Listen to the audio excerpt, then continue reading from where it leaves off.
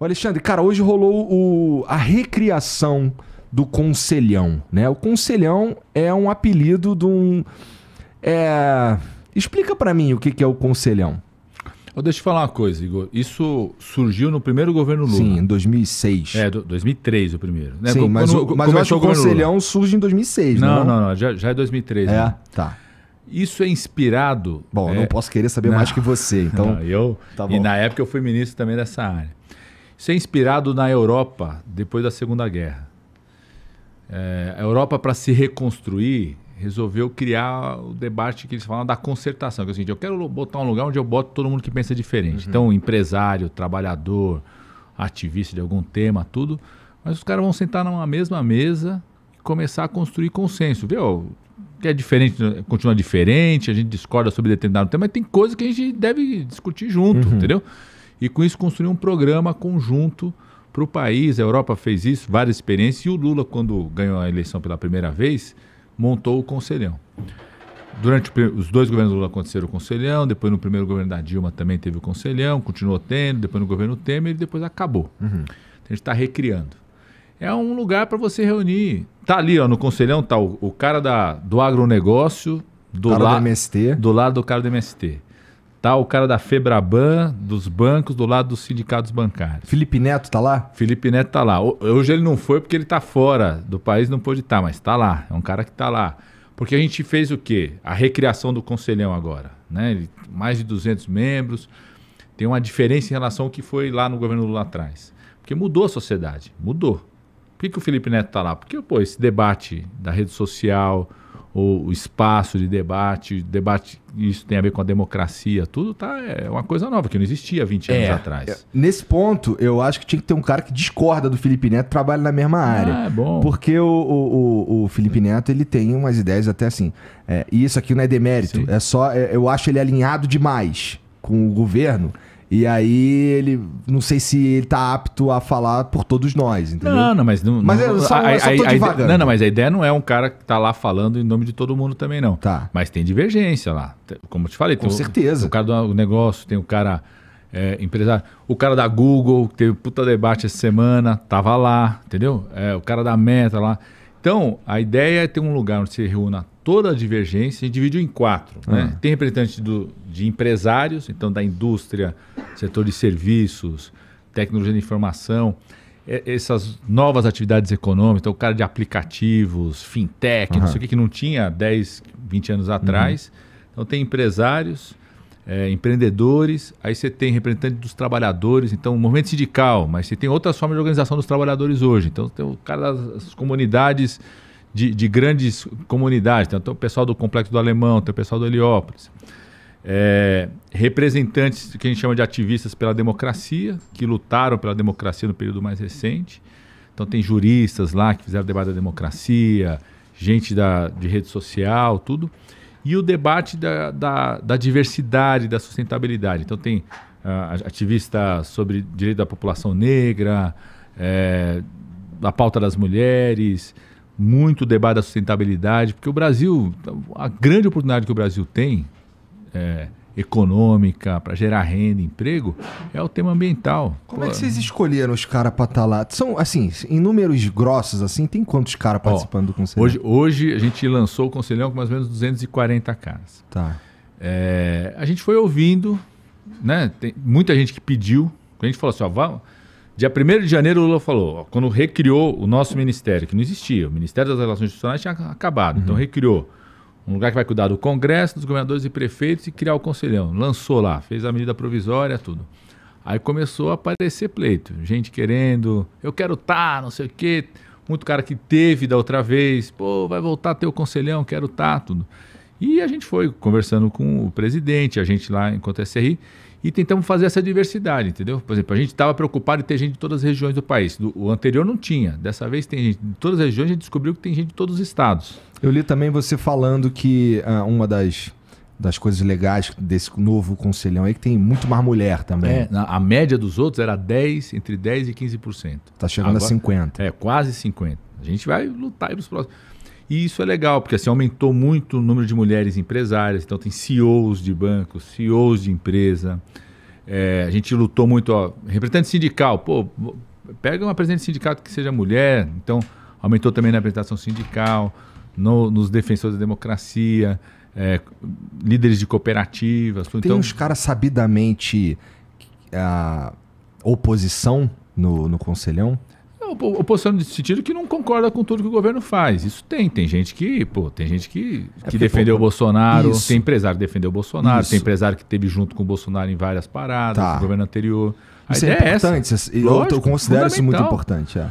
Ô, ô, Igor, a gente precisa retomar o diálogo no país. Cara. Isso eu concordo. Não gosto de concordar com político, não, não mas, mas eu concordo. Não, é isso, cara. Você está concordando com o Alexandre, parceiro. Tá bom, tá um bom. médico, o cara que é médico, professor universitário, porra. deputado, tudo, ministro. Mas a gente precisa retomar o diálogo no país. Eu também cara. acho, também cara, acho. Tá, tá, não, a gente não vai para lugar nenhum. Se, sabe uma coisa que eu falei hoje no Conselhão? Porque a gente tá lá, os 200 caras. Aí a gente faz pequenas mesas. E o cara não chega lá e escolhe para sentar, não. Você, você, para quê? Para o cara sentar, o cara do agronegócio sentar do lado do cara do MST. E, e uma das coisas que eu falei no discurso, eu falei assim, ó, vocês estão sentados do lado de gente que vocês nunca viram na vida, mas você já conhece o cara pelo que o cara... Um trecho da internet, uhum. um Twitter sobre o cara, você já tem uma... uma já você, chegou enviesado. É, você tem um preconceito sobre o cara, uma previsão sobre o cara, você vai conhecer o cara ali, entendeu? Então eu acredito que o Brasil precisa retomar o diálogo, retomar com respeito. Ninguém precisa concordar com todo mundo, mas precisa respeitar a opinião do outro e retomar o diálogo. Né? Uma reunião boa, Igor, é aquela reunião que você entra com opinião e sai com outra. Você não precisa sair com uma opinião completamente diferente, mas uma mediação daquilo que você ouviu, cara. Alguma coisa daquela conversa ali fica é em você, né? Se você entrou se gente... e saiu com a mesma, bicho. Mas para isso a gente precisa partir do princípio que ninguém é dono da verdade. É isso. E isso está difícil no Brasil hoje. Mas né? a gente precisa retomar isso, cara. A gente precisa retomar. É parte do teu trabalho e, também, não é? Do meu trabalho, se tem um cara que gosta de ouvir é o Lula, sabe? Então. Ah, não demorou é, é tanto, citou o Lula rápido. meu chefe, né? Meu chefe. Mas é, mas é isso. É, é um cara assim, eu aprendi aprender a ouvir, lógico que não foi só com Lula, antes também, mas com Lula muito, enquanto da arte da política. Uhum. O Lula é um cara que entra numa reunião, raramente ele é o primeiro a falar. Às vezes ele fala, faz uma pergunta, uma provocação e quer ouvir todo mundo. Você pode ver, o, o, o, ministério, os 37 ministros, tem gente de posições diferentes, sabe? Realidades diferentes, partidos diferentes ele gosta de ouvir e faz uma síntese daquilo que ele vai juntando ali. É, eu, eu, eu, trabalhei, eu sou, sou médico, sou médico infectologista, que formado em São Paulo, tudo. E tinha acabado a minha especialização aqui na USP, no HC, fui coordenar o um núcleo da USP lá no meio da região amazônica. Então fui morar lá na região amazônica. E, e tive muito contato com populações indígenas, né?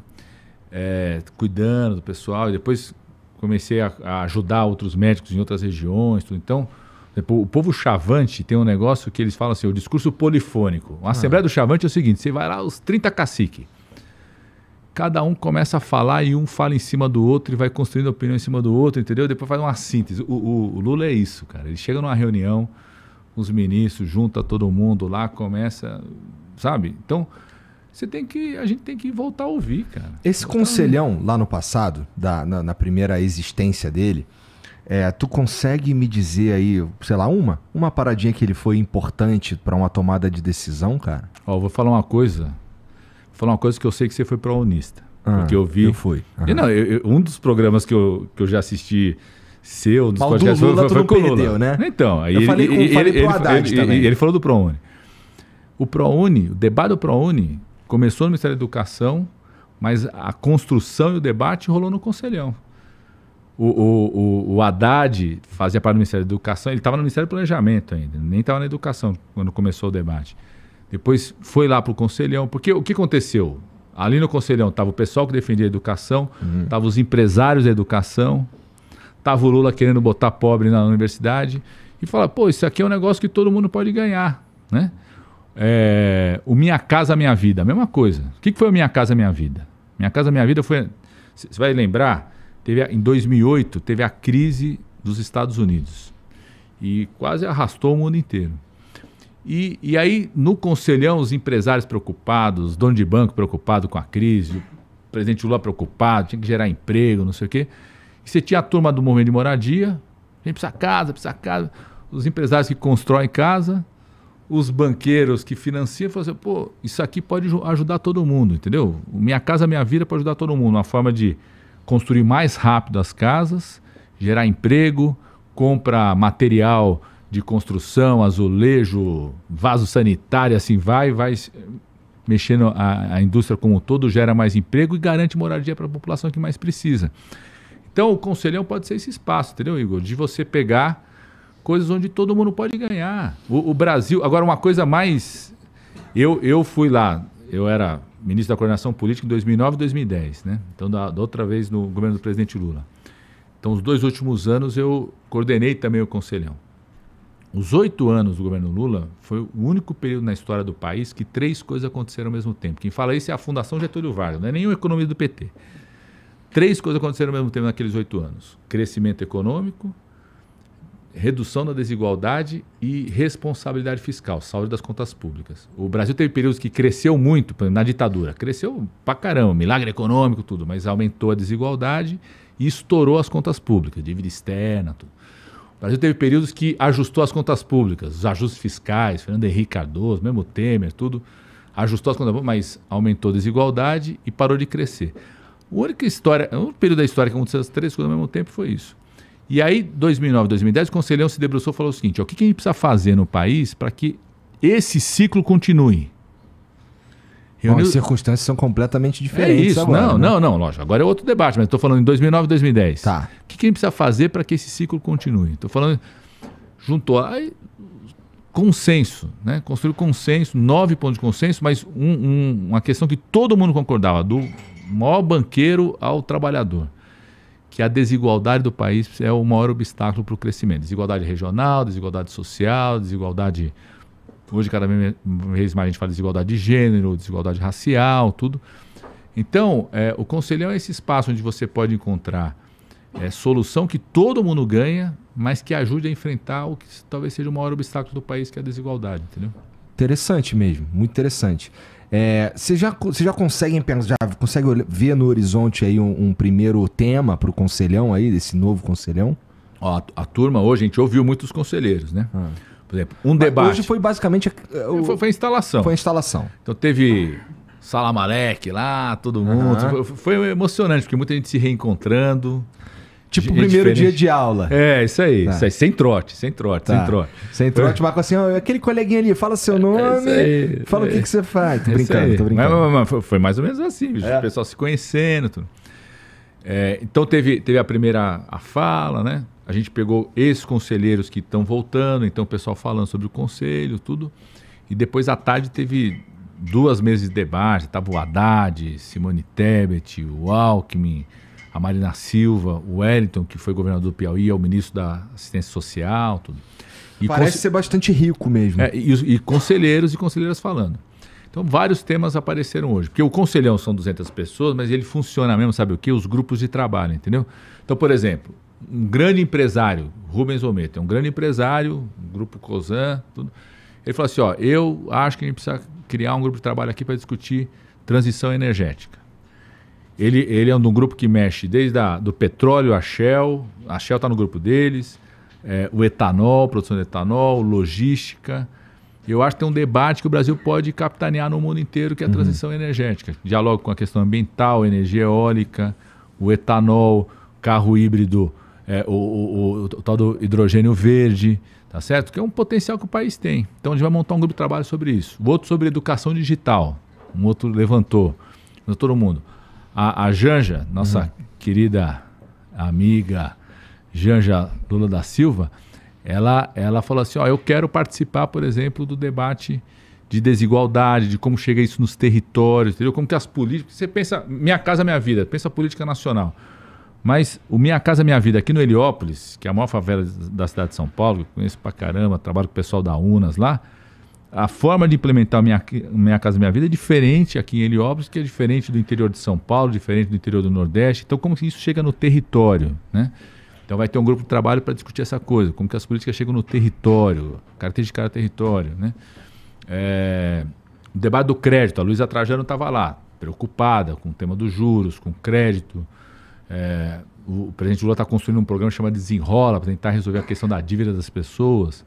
Então a gente chamar os varejistas para os caras entenderem, ó, isso aqui pode funcionar melhor, dialogar com os técnicos do, do, do Haddad, do Ministério da Fazenda, com o Banco do Brasil, com a Caixa.